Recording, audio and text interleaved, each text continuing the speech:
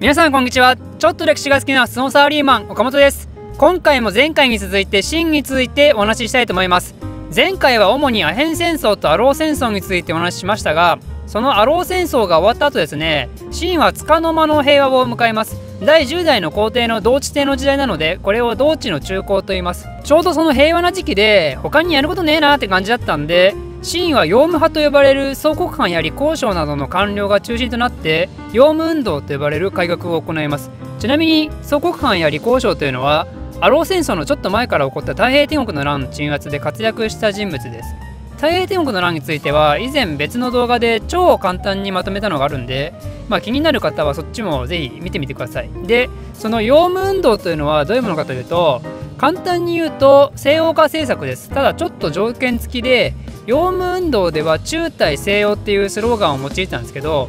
このスローガンの意味はですね中国の伝統を本体として西洋の技術を応用するというものですよ。つまり中華の在り方は大きく変えないけど西洋のいいところはどんどん取っちゃおうぜっていうことです。ちなみにこの時日本ではちょうど明治維新が起こってる時ですので、まあ、日本も同じく西洋風の近代化を図ってるとこなんですよね。この洋務運動によって清は西側の近代兵器をどんどん導入して近代式の軍事訓練なんかも行ったりしてこれによって欧州各国はちょっとビビるんですよね。ビビるというか今までは中華の遅れた姿を見て上で待ってるぞ的なスタンスで入れたのがあ本当に上に来ようとしてるこいつらってなって見守る姿勢に入ってったわけですよ。まあこれがいわゆる真の眠れる獅子という状態です。あんまりちょっかい出すと本気出されたら噛まれるかもしれないと欧米列強が思うぐらいには成果が出たわけですね。ただし実際のところはどうだったかというと、まあ、ぶっちゃけそんな大したことないんですよ。ちょっと考えてほしいんですけど洋務運動の中大西洋でいう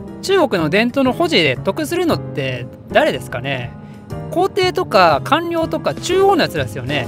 彼らの保身の気持ちが結局この改革に現れてるわけですよ。しかも真にとって運の悪いことにこの時実権を握ってるのは生体号という外籍なんですよ。ねこういう外籍みたいな人が実権を握った時って本来あるべきではない形で権力を握ってしまってるわけなんで権力への執着がより一層強いわけですよね。というわけで洋務運動っていうのは新中央政府による上からの押し付けに過ぎない表面上だけのペラッペラ改革だったんですよね。この洋務運動が始まった後少し経ってから清はベトナムの総主権をめぐってフランスと戦争したりあ総主権っていうのは簡単に言うとボスでいる権利みたいなものです。ベトナムだけじゃなくて朝鮮の総主権をめぐって日本と戦争したりするんですけど結局ボロボロにやられてしまうんですよ。これらを新仏戦争日清戦争と言いますがこれらの戦争の敗北によって結局洋務運動は失敗だったっていうのが露呈されてしまうわけですよね。それどころかそのベトナムとか朝鮮とか今まで中華帝国の第一第二の子分たちだったんですけどフランスと日本に負けたことによってその総主権つまり親分である権利も取られちゃってね。お前の負け だかすいませんあの前回から半沢ネタばっかなんですけどあのね半沢ね面白いですよねマジで。あの最近半沢ばっかにハマってるんでまあこういう感じになってしまってるわけですけどまあお前の負けってことでシーンは改革も失敗するわ。東アジアのボスとしてのプライドも失うわ。もう散々なわけですよ本当に。でまあご存知の方もいらっしゃると思いますけど日清戦争に負けたことによって真の運命っていうのはこの後かなり悪い方向へ向かうことになるんですよ。あちなみにさっき洋務運動と明治維新がほぼ同時期に行われたという話をしましたけど明治維新って結果的に大成功でしたよね日本にとって。よくね中国と日本は同時期に近代化の改革を行ってなぜ日本だけが成功したのかっていうのが中国国内で議論になるらしいんですよ。明治維新の成功度合いって結構奇跡的なレベルらしくてあんまり断言できるような理由っていうのはないらしいんですけどだけど中国はやはり中華の伝統にこだわったのに対して日本は幕府っていうそれまでの統治制度を完璧にぶっ壊したからってのが聞いてあるのは間違いないらしいんですよ。別に日本だって天皇制を破壊したわけではないですけどね。だけど時代の為政者を一から変えるっていうのは改革として重要なのかもしれないですね。だから中華もこの時新王朝を倒して別の王朝が西洋文化を取り入れて大きく変革しようとしていたらもしかしたら何か変わってたかも。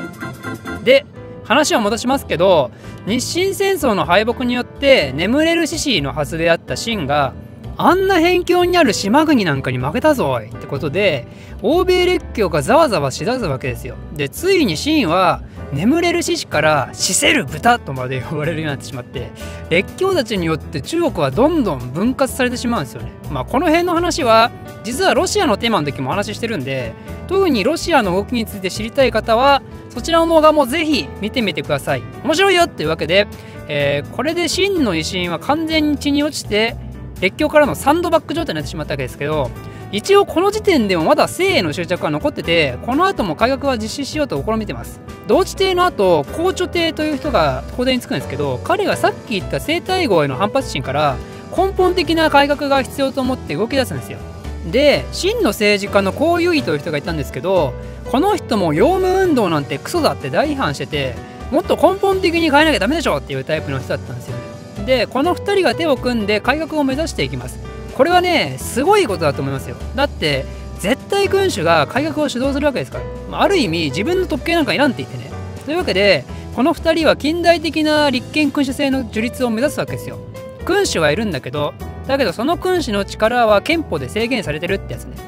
この変革のことを武術の返法というんですけどだけどこの返法も結局失敗するんですよね。実は高著帝と高優位がそもそも個人として馬が合わないっていうのがあったんですけど何よりも生体号を中心とする保守派がこの動きを押さえつけたんですよ。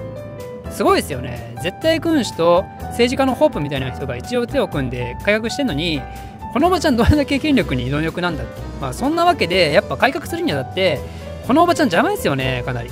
この改革をした人たち偏方派って言うんですけど彼らは軍隊を持ってなかったのでなので改革を支持していた有力軍人の遠征外という人を頼って世帯を幽閉しようとします。だけどこの遠征外もまたくせ者でね最初は校長店型を装ってるんですけど意外と難しいかなって思ったら一気にね裏切って逆に改革をしてる人たちを粛清してなんと工場艇幽閉しちゃうんですよ。これら一連の事件を武術の政変というんですけど結局これによってまた秦は復活できなかったんですよね。これねマジでこの改革成功してたら中国って今でも立憲君主国家として存在できたかもしれないですよね。まあ今も今で訂正みたいなもんですけどでも少なくとも歴史的に見て他国からリスペクトされてしかるべき国家になってたのは間違いないと思うんですけどね。で結局シーンは何も変わらず政治は乱れて列強からは食い物にされて民衆の暮らしは困窮してるわけですよ。その後何が起こるかというといつもなら民衆が政府に対して反乱を起こすんですけど今回はなんと列強に対して反乱を起こすんですよ。こうなったのもお前ら外国人のせいだろってことで。この反乱のことを義和団事件と言います。不信滅用というスローガンを掲げて西洋を召して秦を助けようとするんですよね。義和団ってね面白いんですよ。彼ら新興宗教団体なんですけど最勇気の孫悟空や三国志の諸葛亮を神として崇めててひたすら武の追求をしてるんですよね。感謝の政権好き1万回的な。まあ孫悟空はねなんとなく分かりますけどなんで諸葛亮って。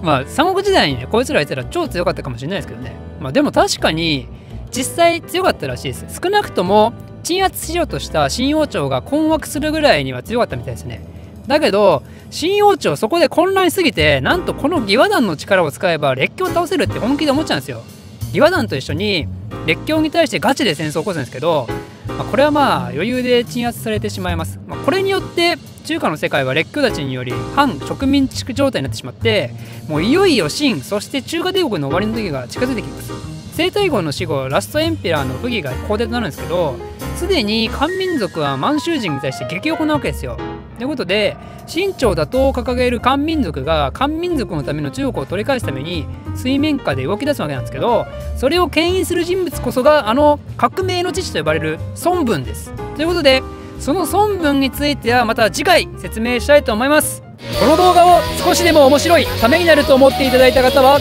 いいねとチャンネル登録のほどよろしくお願いしますではまた